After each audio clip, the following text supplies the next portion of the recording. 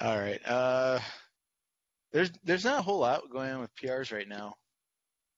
We've got two new ones. Uh, Radek and Adam are working on this two-phase commit encoding stuff, which I'm super excited about. Mm-hmm.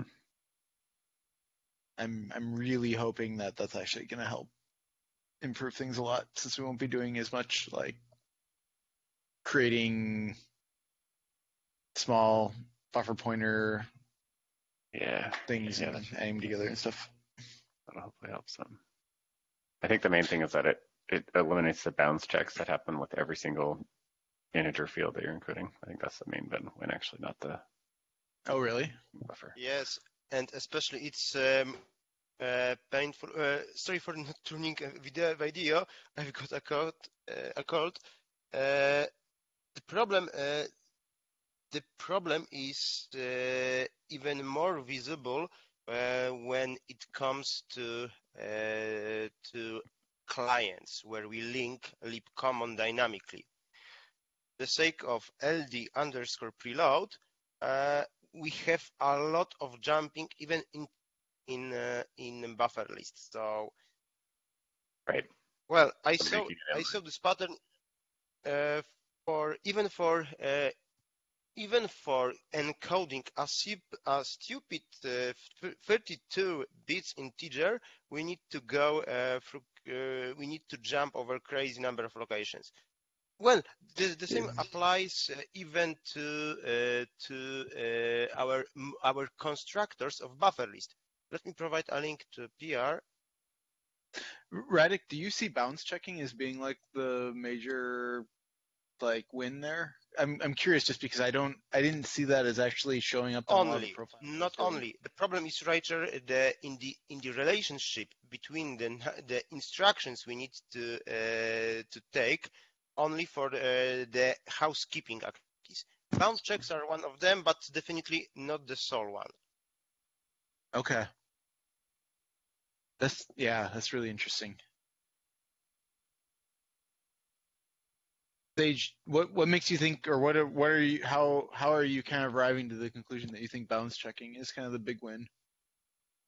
Oh, I was just assuming that that's where the cost for append was. I wasn't thinking about the the fact that it has to do a, a jump um, because of the dynamic linking or whatever.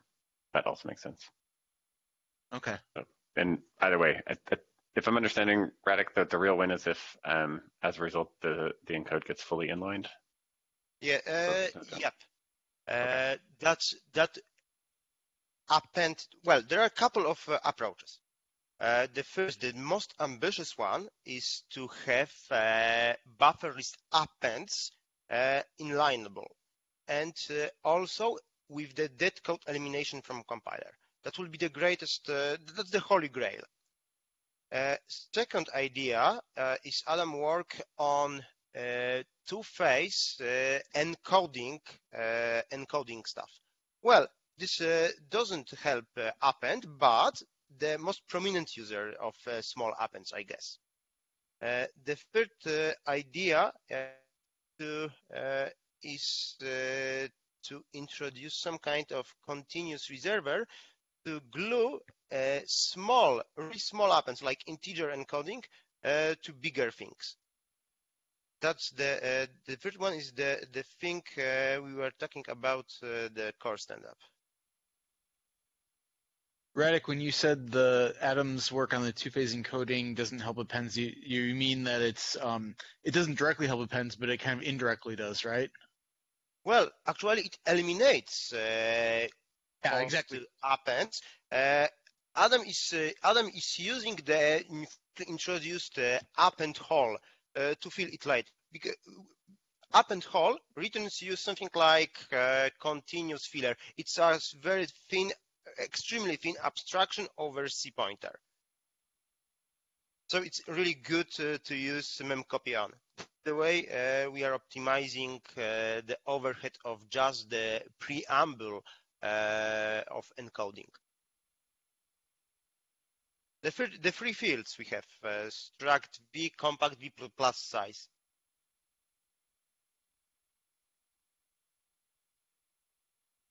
Cool. Okay. I'm super excited about this stuff. I think it's gonna be good.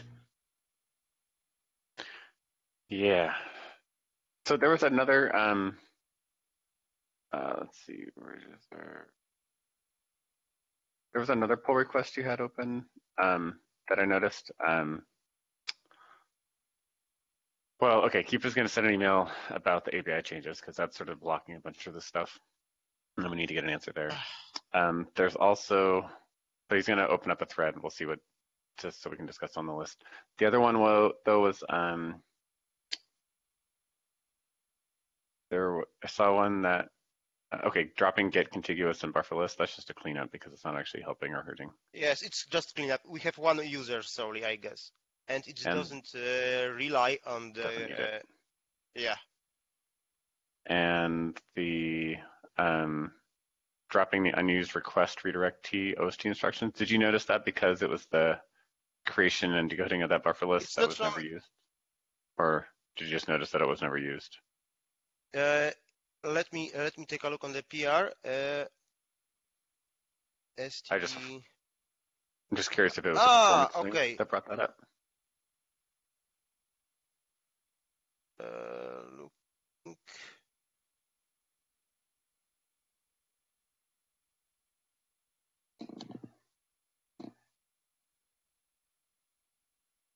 Uh, and I need to recall. Sorry. Yeah. Yep. Yep. Yep. Uh, I wasn't. I haven't find, found that uh, by profiling. Uh, I'm just running some. Uh, I just. I just. Inst I'm instructing compiler uh, to testify about some users of methods uh, I'm interested in in buffer list and that was uh, one of the things similarly to the uh, to the uh, kv one so basically i have no idea whether it uh, whether it actually helps the perf it was found at compile time Okay. Okay. Um, I'm just skimming your other pull requests and see what else is here. Uh, killing the last P member. Okay, this is this is the other, the other one I had a question about. You have all these check marks. Is this because you're going through and auditing all these callers to make sure that they don't?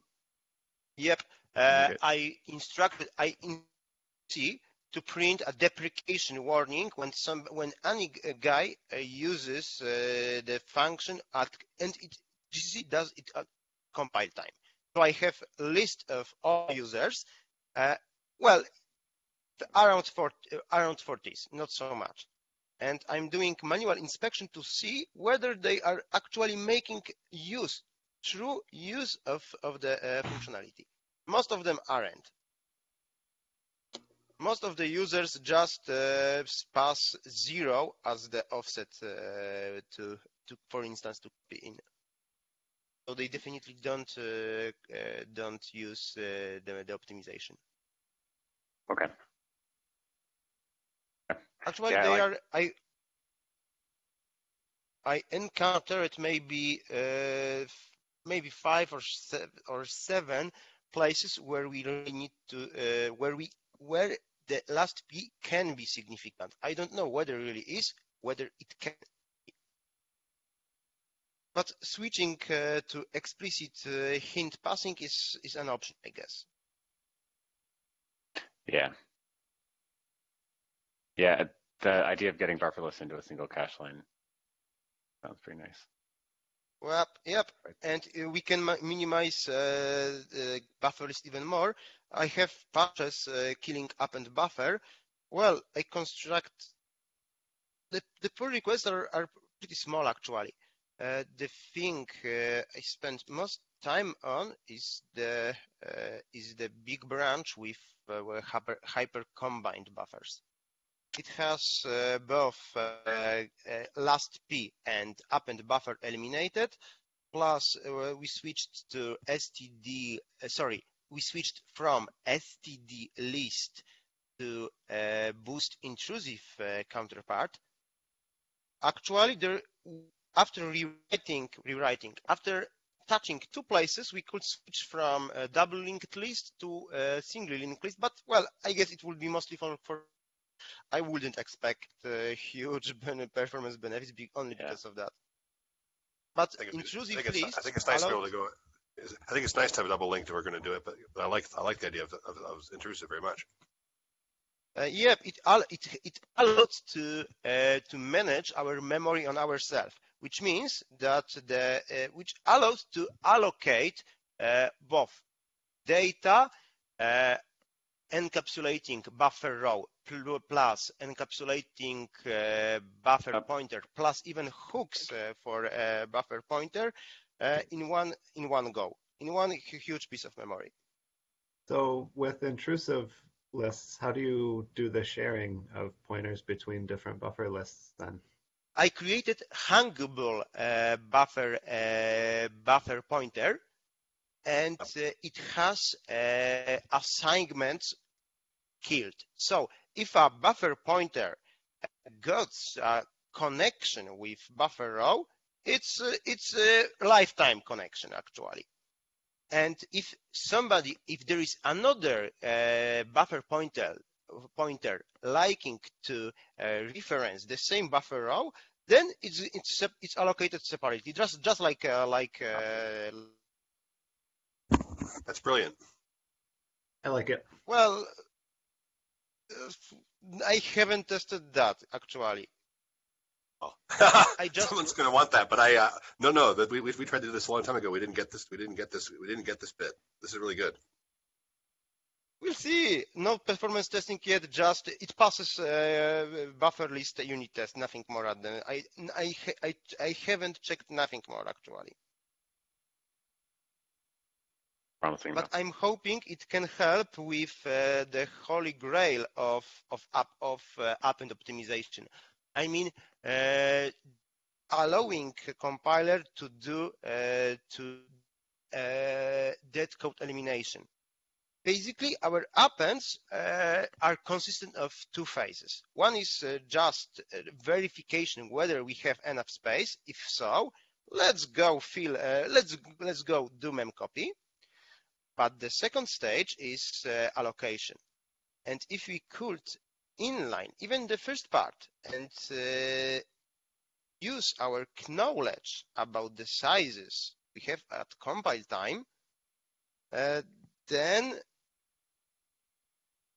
maybe compiler will be able to emit nothing more than just memcopy plus uh, updating uh, two counters. One is the underscore len in buffer list, and one is uh, underscore len in buffer pointer.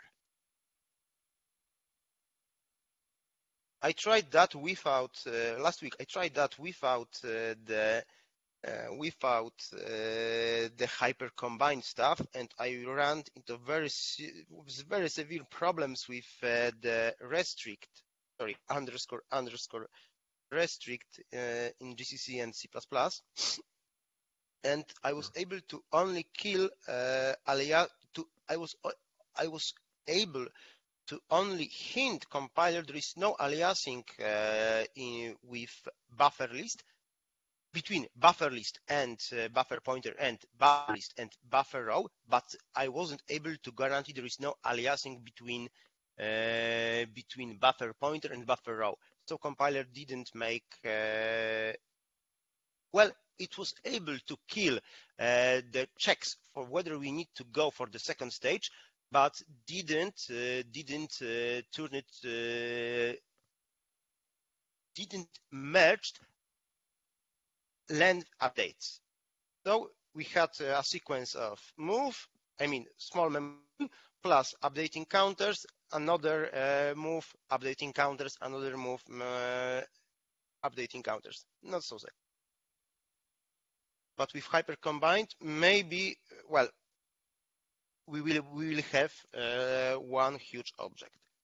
So maybe so maybe this will be enough uh, to to to to hint compiler appropriately because we know at the moment we are able to to provide compiler with hint for buffer list, nothing more. But we, if we have uh, two only two objects uh, in the equation, maybe this will be enough. We'll see. Anyway, the, the restrict support in GCC is, is confusing at least.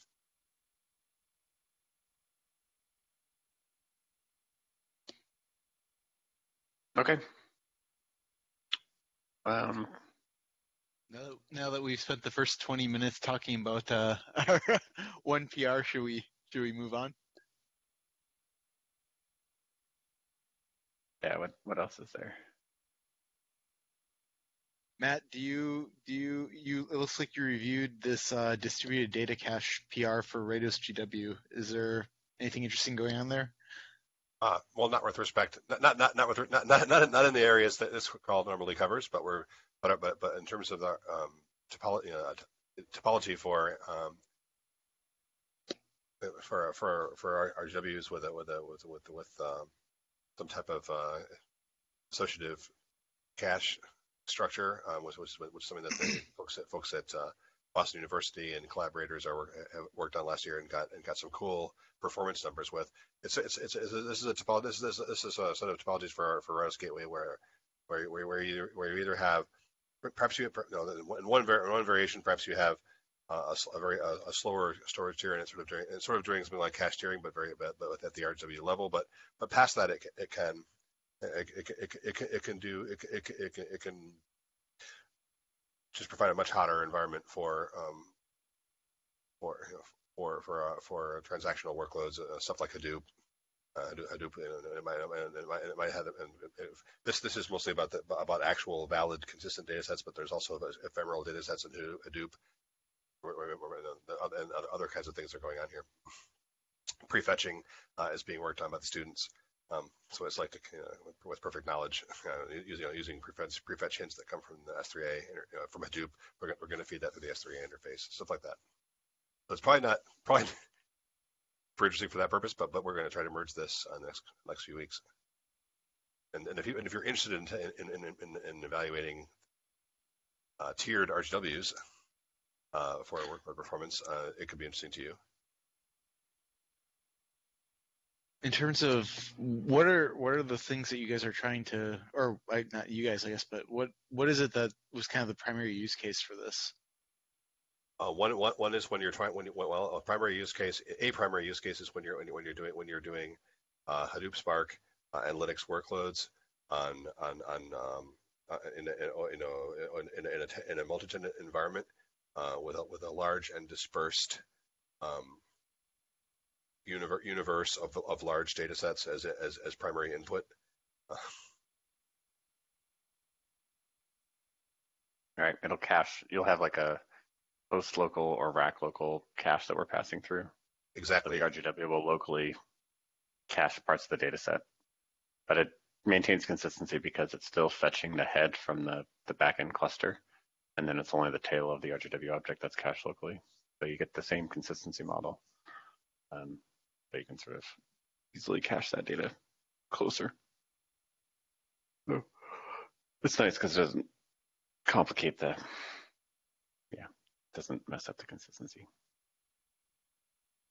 That that seems to be kind of the the theme, right? Is is if we can avoid this trade-off of destroying our consistency to get good performance. Yeah. If we can do something like this.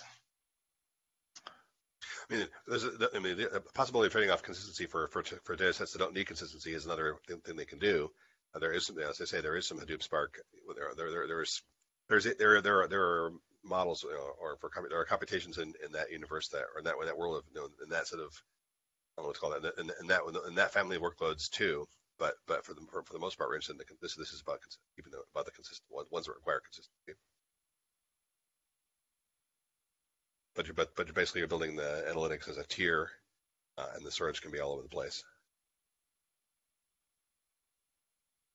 Should we should we jump to the topics here? I'm not. We already talked about the two-phase commit. Um, I'm not sure there's anything to talk about with the NICFIS queued up one until we actually run tests to try to reproduce it. Um, but the yeah, NUMA awareness thing did come up. I would like to talk about that one. Okay. Sure. Um, the, the meta question here was just that I've heard people say that if they pin um, the OSD to a particular NUMA node, performance is better over the years. I don't remember who. Well, I know I know Kyle's played with this. Um, I think the the high level question is, what is the best practice as, as far as NUMA pinning goes? And is this something we can happen make happen automatically, or is there something that we can do so that people don't have to go messing around under the covers to try to From from a higher level perspective, I guess maybe my question would be why does it appear that the Linux scheduler is moving the OSD processes across NUMA nodes? Why is it that we have to pin stuff to make it perform good if that's actually the case? Like, that's crazy, right?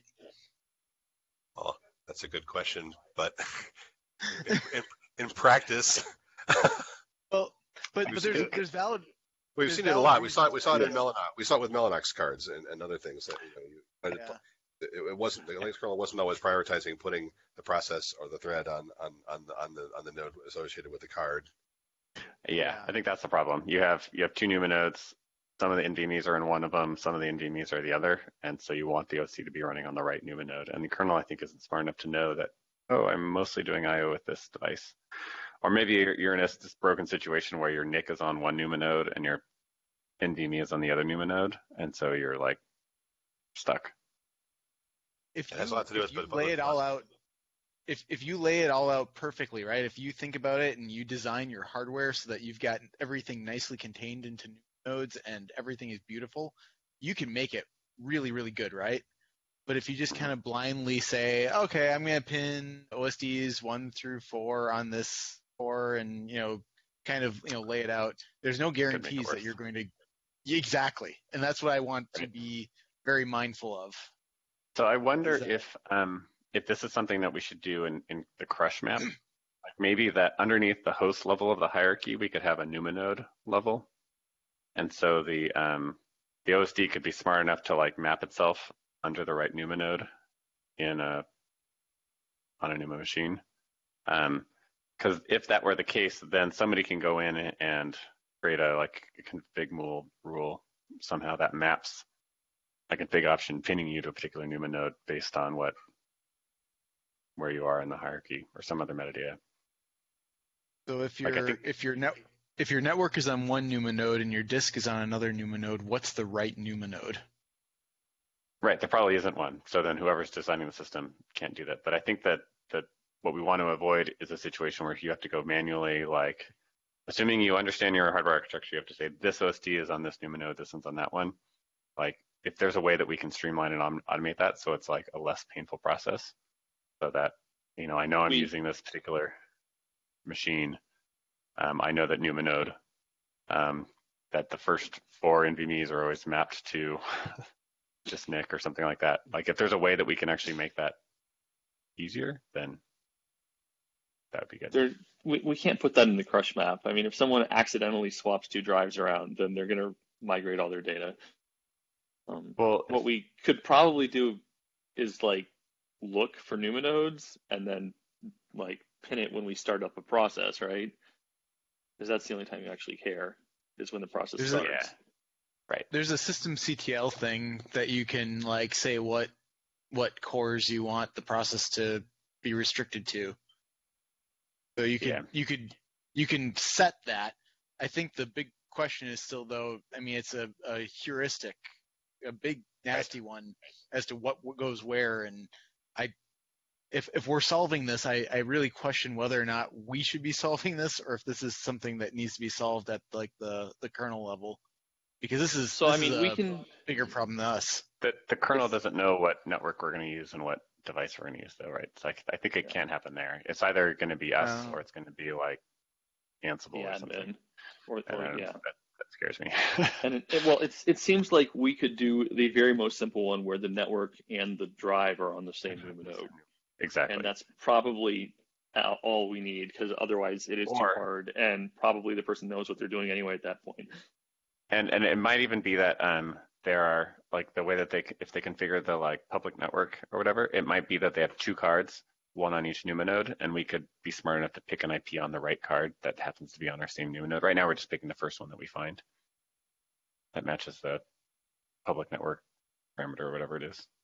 Um, so I think there should, could be something. I think what we need is um, somebody who under, has a machine that um, actually looks like this and understands what it should look like, and they can help us figure out what the heuristics are.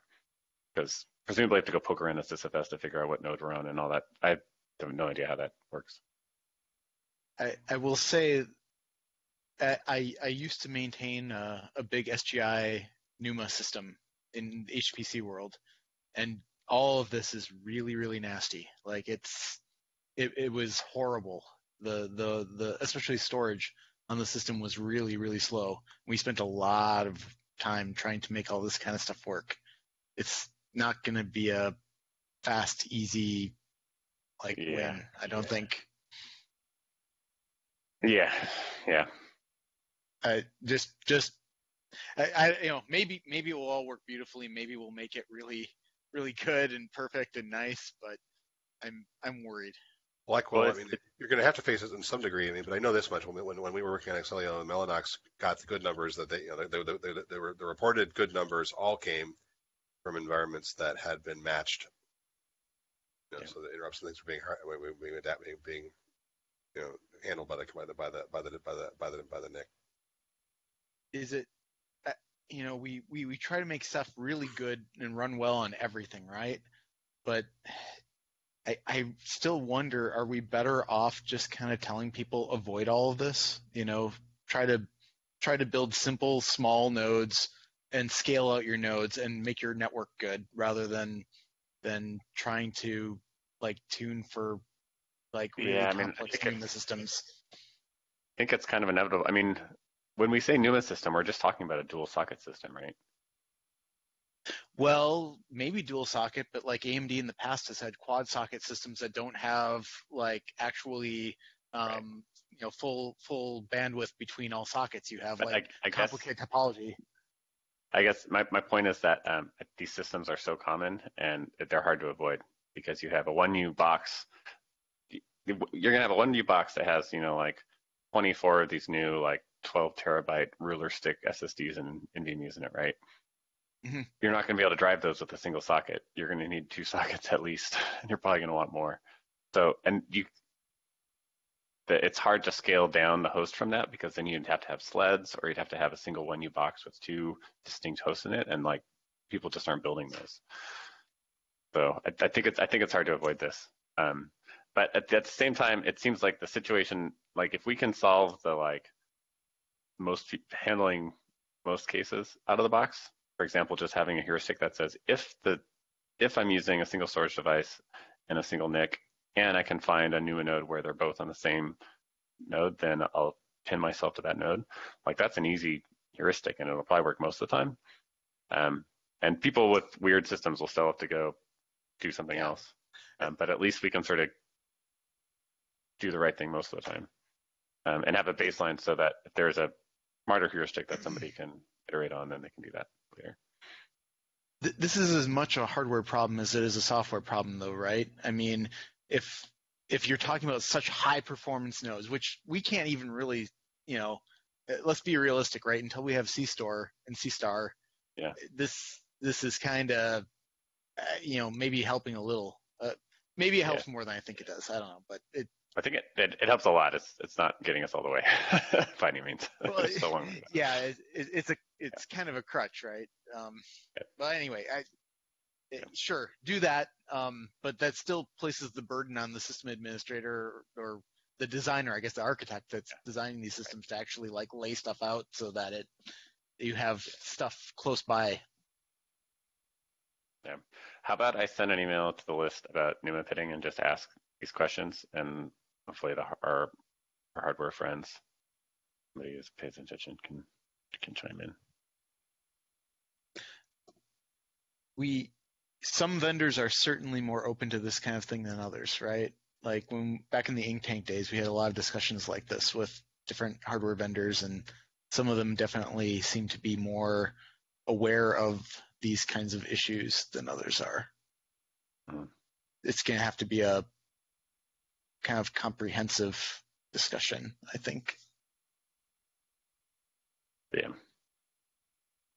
Yeah, I know I've definitely looked at several hardware proposals where they're looking at a particular motherboard or whatever, and it's just like it's just kind of fundamentally broken where you have like they have eight NVMe's, four of them on each core, but the network is always on only one of them, and so there's like no there's like no win because half Or- of them or are going to you- have it. or or heck, let's you have like eight NVMe drives be, sitting behind um some kind One of like. PCIe The one socket. Expander that you know you know you've got like four links and everything is sharing them. They're all on one socket.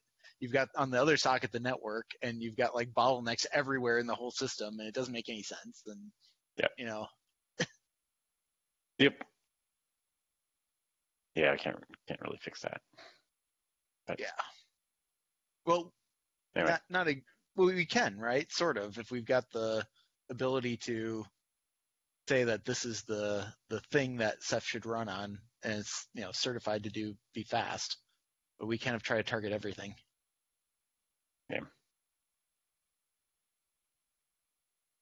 um, okay. Anything anything else on this list that we should talk about?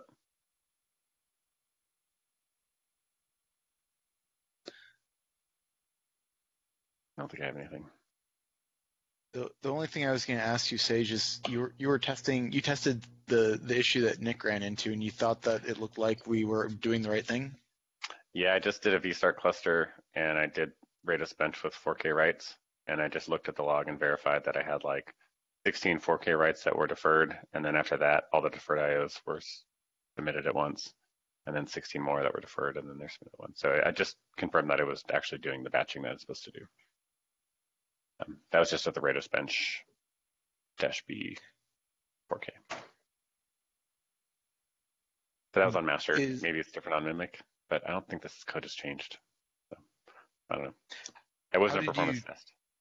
I just looked at how the did log. you yeah uh, whatever you did to look at the log is that something Nick could do on his to ensure that you guys saw the same behavior Um, sure. Yeah, I just turned BlueStore, debug BlueStore 20, and then looked for deferred.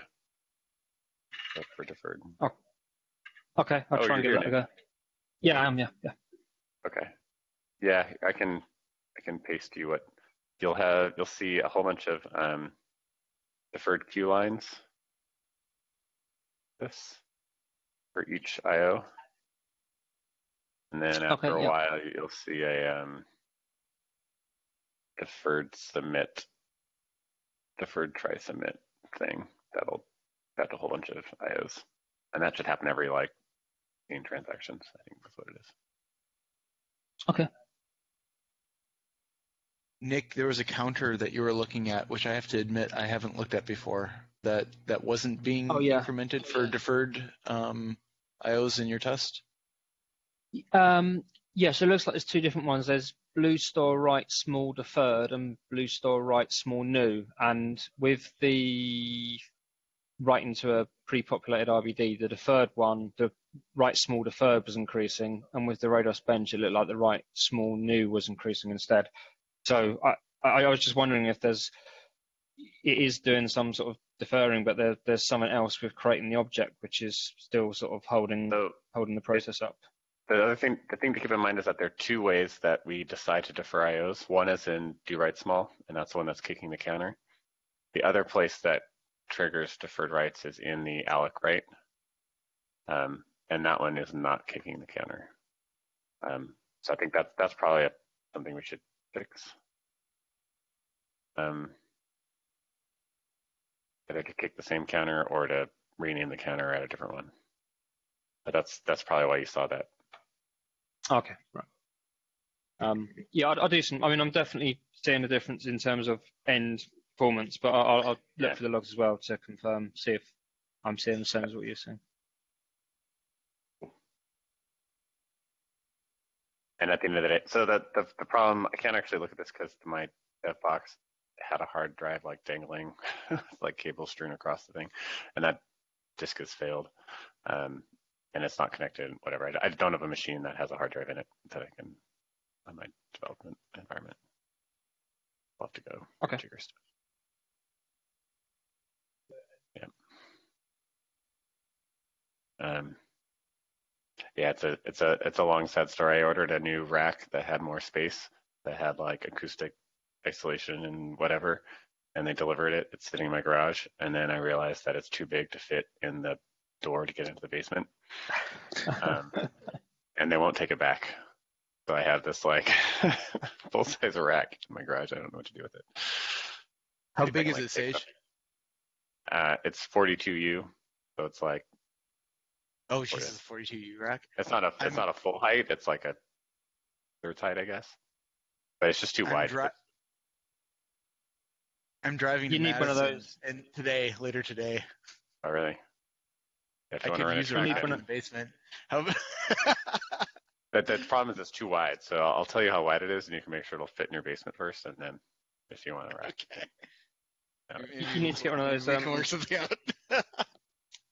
You need to get one of those shipping containers on your front lawn they use for the mobile DCs. You're gonna need Yeah, I shipping mean, I- container to move it too. I mean, I could just install it in the garage, but the problem is it, it gets hot here, and so I need I need the cool ambient temperature that I get in the basement. Yep. So um, that won't really work. Yeah, send me. I, well, so I'm I'm actually driving my truck. We're going. Actually, we're going out to Wisconsin Dells, so it's not Madison. But it's like you know 45 minutes Close, away or something. pretty close. Yeah. All right. Well, Hmm. here I'll send you the spec sheet. You can you can see if it'll fit. Okay. Okay. Sounds good. you. Yeah, I was excited. It looks a cool rack. But... Okay. That page is not found. Oh wait, no, there we go. Okay. All right. Good deal. And for me. Um, I, I just had one quick question. I, I'm just flicking through the um, pull requests. I saw there was a new one for a new cache mode swap. And I've just been sort of flicking through that and quite interested in that because what they seem to have tried to do is that was what I was seeing um, as the main limitation when I was looking at this a couple of years ago, in that it's sort of given a multi-dimension to the hit set. Um, is that um, that sort of stalled, or i- i I mean, is there anything I can do around that to sort of maybe help get that progressing? I'm trying. I have to refresh my memory what this pull request did. I I remember it being a new mode, but I don't remember. So I mean, what, what you're asking for, um, basically where new objects land in the cache tier, um, instead Oh, yeah. of being proxied through, is it's is totally reasonable. And I actually thought that you could tweak the option so it would do that already. Um, but looking at the code, it looks like you can't. So I I think it's fine to figure out how what the right what we want the configuration experience to look like to make that happen, and then we can fiddle with the code. Um, I'm not super excited about like playing with the cache sharing stuff all that much, um, but this this should have already worked. I think Okay. fine if we can just figure out what the change is. Um, make it happen. But I'm not. I thought this this swap mode was something else. I have to I have to read this. So it, it looks like the where the hit set the moment is sort of like binary. Um, it effectively makes it, um, you know, like a byte's worth of information or something. So that because at the moment it's if you got the hit set, um, say over spanning in an, an hour, um, something that's hit 100 times a second to once an hour effectively looks the same. Where that it gives it some more sort of um, dimension to I see. those decisions. That's a temperatures in the bloom set. Yeah. Okay.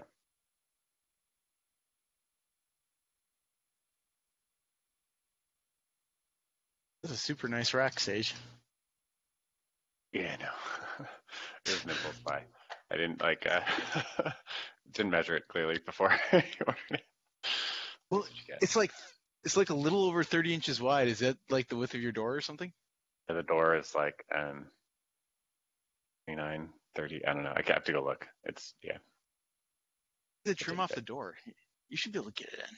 It's it's I mean it's like concrete on the sides. It's like the stairs down and then I don't think I mean maybe if you like remove the door jamb. Yeah, I was gonna say I've got oh a I'll sawzall I can bring with. I'll take Going back to the set performance thing, the Yeah. the cache tiering, it all used to write into the into into the cache tier. Everything used together because it was new objects, and Yeah. then someone didn't like that because they were writing data that was just like never going to be read Right. again, and so they. Right. And I thought that that was a switch, and that it worked with the with the IO cache hints, but as Nick Yeah. demonstrated in the source code lines. That's clearly not what's happening. Right. Yeah, that's why I was confused because I thought that it was it was the like the min read hits or min write hits or whatever. Um, if you specified like zero, then it would um or one. I thought there was this like boundary condition where it would flip between that behavior, but um apparently not.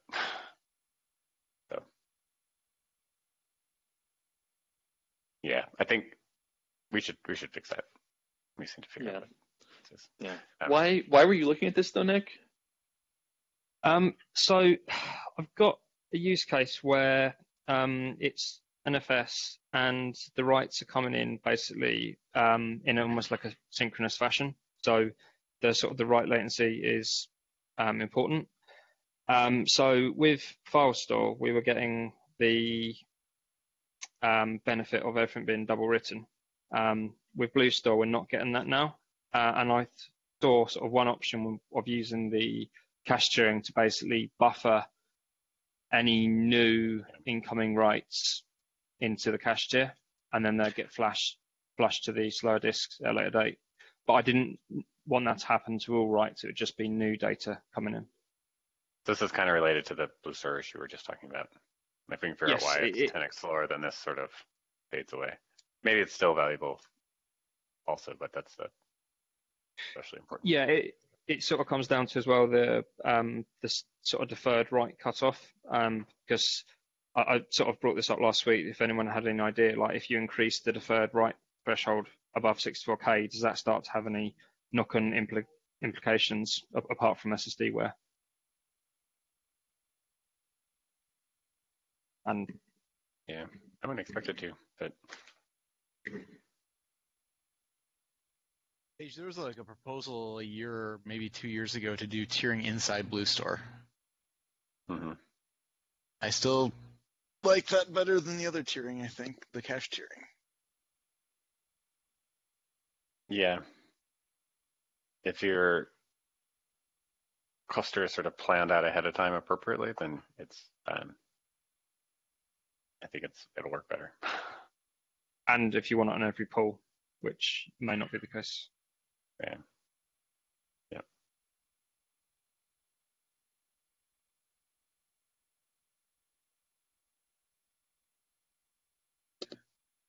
Yeah. Anyway, the, the reason I ask is I'm I'm skeptical that the cache tiering would actually. I mean, it might make the immediate latency better, but I'm skeptical in the long run it would work well for you, just because Ye- it's improved a lot, but it still doesn't work great for most use cases, and I want people to stop using it. I agree, Greg. That's why I brought up the BlueStore Yeah. thing. um, Yeah. yeah. So right, so first order of business, let's figure out why the BlueStore performance sucks. I think maybe one thing you can do, Nick, though, on the caching, just fit, maybe experiment with those um, hit set recency settings. I can't remember what they are, but just see if setting them to zero or one changes the behavior. Okay. Um, I can't, I can't quite remember. There are a bunch of, yeah, yeah. Make sure it really is broken. Okay.